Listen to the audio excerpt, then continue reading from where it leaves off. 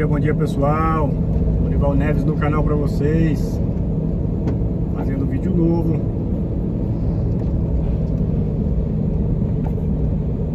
A intenção de mostrar para vocês aí como é que é o, o nosso dia a dia sempre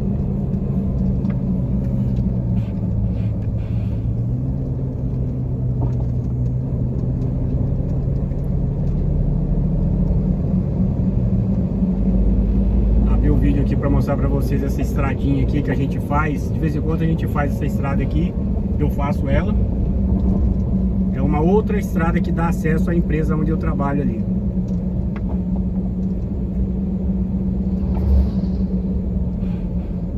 Para vocês verem como é que é apertado, né? Já fiz o primeiro, o primeiro giro da manhã, pessoal, já fiz. Agora são 3 horas da tarde, eu vou no, no, no, segundo cliente, né? Fazer o segundo giro.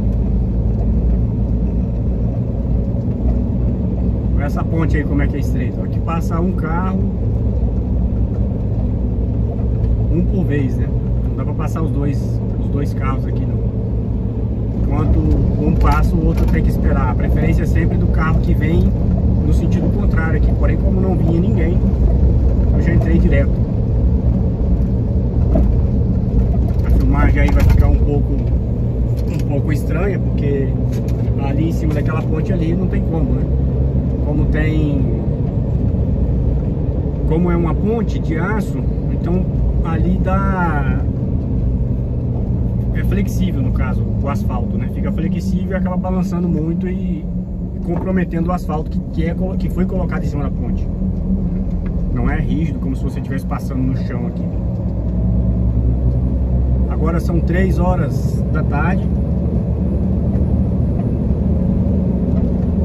Temperatura externa 20, 24 graus Celsius, pessoal.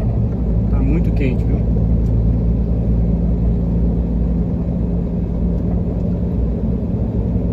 Essa temperatura aqui já dá pra ficar lá na beira da praia já de boa já. Como a água aqui é, é fria, não dá pra poder ficar tomando banho, né? Em qualquer, em qualquer lugar, né? Mas tomar um sol, ficar ali, tomar uma cerveja, já dá pra, pra ir já. No caso, o mar de Trieste ele é muito bom, né? ele é mais quente, é muito gostoso lá. Então lá dá pra tomar um banho. Eu tomaria um banho tranquilo lá em Trieste. Do jeito que tá aqui hoje.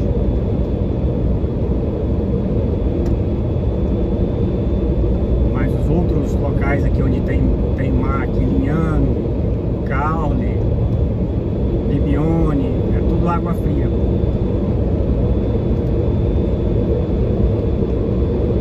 Essa estrada aqui eu já fiz com, você várias, com vocês várias vezes, né? Algumas vezes. Porém, eu não tinha filmado ali aquele, aquele trechozinho onde a gente passa na ponte ali,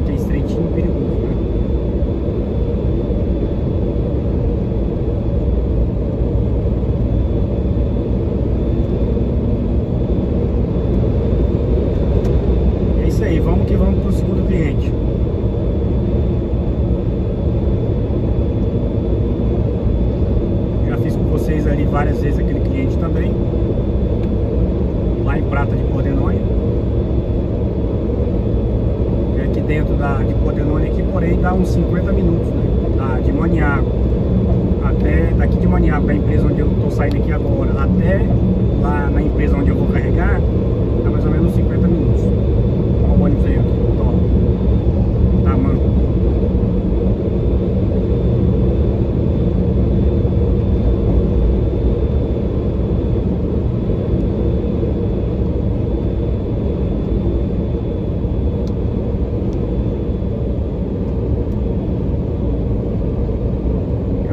abraço pro pessoal do, do, do, canal aí que tem, se, tem se, se inscrito, né?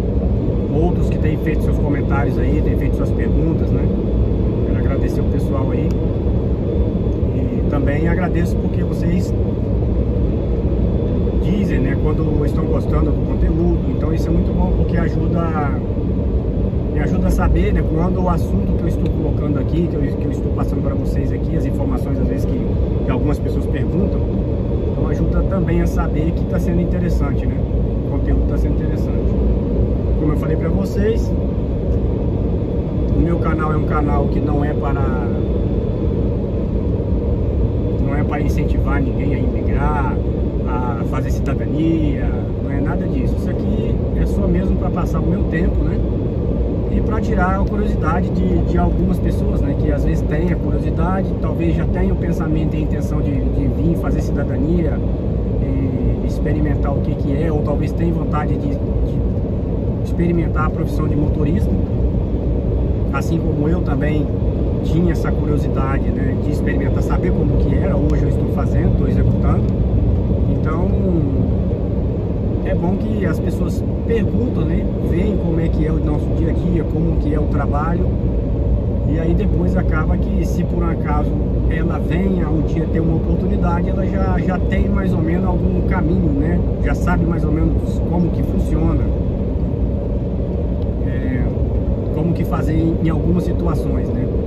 No meu caso aqui, que faço hoje o nacional, tem muitos colegas aí que fazem vídeos aí que fazem internacional, né? Assim como eu fazia anteriormente, explicam aí quais são os melhores locais né, para parar, né, para dormir, porque mesmo sendo aqui na Itália, não existe o roubo de caminhão, tá pessoal? Eu já ouvi falar que já, que, já aconteceu, mas é praticamente eu não, não, não, vi, não vi acontecer e não sei de alguém que aconteceu por perto de mim. É sempre um boato. Mas porém o roubo de combustível tem. O roubo de combustível ele existe de verdade. Enquanto eu fazia internacional, aconteceu uma vez comigo de, de ser roubado combustível, né? Eu e um colega da, da empresa lá também. E depois, passado, passado aí alguns meses, vários meses aí, aconteceu com outro colega da empresa lá também empresa anterior onde eu trabalhei, foram quatro pessoas, né? Eu, mais um colega comigo no mesmo dia e depois um outro que aconteceu e antes de acontecer comigo e o, e o meu colega lá de trabalho, aconteceu com outro rapaz também lá. Então o roubo de combustível existe.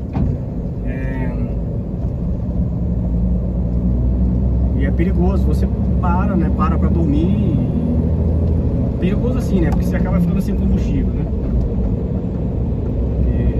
É só, é só mesmo isso que, que, que acontece, é o transtorno ali, digamos assim. Você dorme e é incrível. Você dorme quando você acorda, talvez você vai ligar a chave do carro ali, quando você olha, você tá com um tanque seco. A pessoa vai lá e rouba. É, tão, tão silencioso, tão, tão estranha coisa que você não, consegue nem, nem perceber, nem acorda. Em um local onde você não acreditaria que poderia acontecer. Mas tem. É real.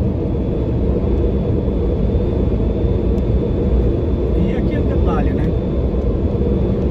Se acontecer, não adianta desesperar, é ligar para a empresa, explicar o que aconteceu antes de sair com o caminhão.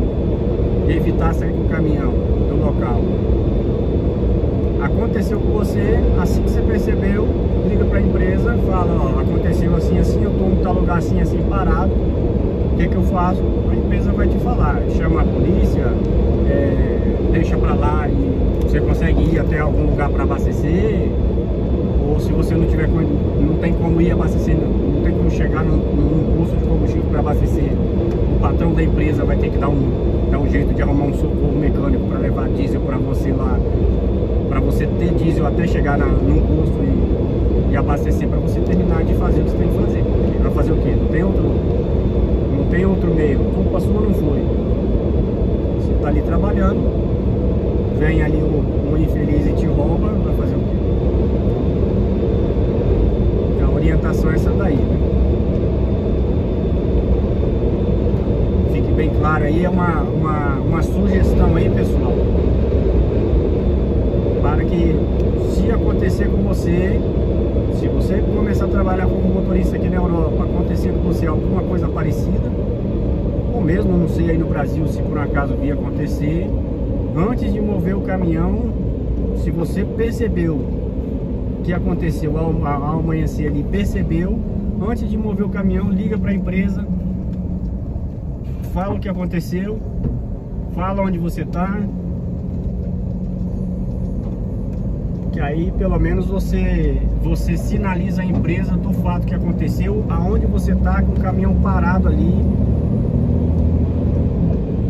para que a empresa possa tomar as medidas necessárias, né? Te dizer para você o que, que, você vai fazer. No meu caso, o patrão falou, ó, vai fazer o quê? É, tenta chegar no posto aí, vai até um posto, abastece e termina de descer. Foi o que o patrão falou, falou comigo lá e falou com outro rapaz. Né? Mandei para ele a localização da onde a gente estava, no local, foto do posto de, do, da área de serviço que a gente estava, né? E infelizmente aconteceu. Isso há bastante tempo atrás, né? Quando eu ainda fazia internacional. Então a dica é essa daí. Você que tem aí vontade de, de fazer o trabalho aqui na Europa, então ouça aí os vídeos aí dos amigos aí também, que aí muita gente vai te dar indicação aí das áreas de serviços, né, que, que são mais perigosas, né.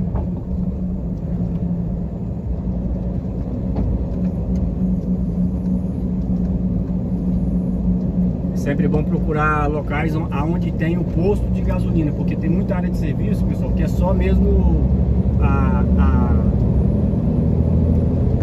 o estacionamento para, para caminhões, né? Cada vaga ali, várias vagas de caminhões, mas não tem um posto de gasolina, só mesmo aquela área grande que você pode parar ali vários caminhões um do lado do outro ali, né? Tem banheiro, coisa e tal. Mas quando você para num local onde tem um posto de gasolina também, aí ali é um pouco mais seguro, né? Não quer dizer que seja 100% seguro, mas é um pouco mais seguro. Geralmente tem câmeras, né? Então o pessoal o ladrão já vai ficar meio com o pé atrás de, de, de querer roubar por ali. E as viaturas, né, passam mais, né, chega a passar mais, pode acontecer. Ok? Então a dica é essa daí. Vou encerrar o vídeo aqui para não ficar longo. Um abraço para vocês aí. A gente vai se falando.